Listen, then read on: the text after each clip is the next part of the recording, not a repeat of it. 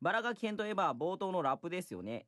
中井さんが歌ってくれただけでもめっちゃ嬉しかったのですがぞ、てめえらいい加減にしてくれよの発音が めっちゃ本格的でびっくりしました。さすがです。あのラップを歌うと聞いた時の気持ち、またはエピソードなどがございましたらお聞かせください。うーそういう風にバカにするわけだな おい、被害者妄想バカにしてないですよ。歌ってないよえしかも本格的でもねえよい。いじゃん、いい何が起きたん。ですか？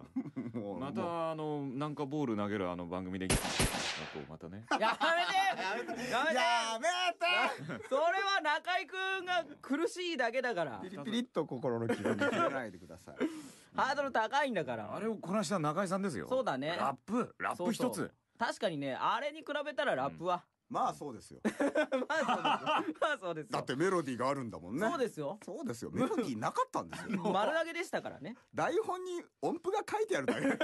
台本になんかこれ歌うの歌うんだなっていうニュアンスが伝わってる。だイエス。けそういうことですよ。そういうことですよ。一生懸命頑張ったらこれ劇場前につながる大事な設定だからふざけないで。ふざけてねえよふざけてねえよ。みたいなことを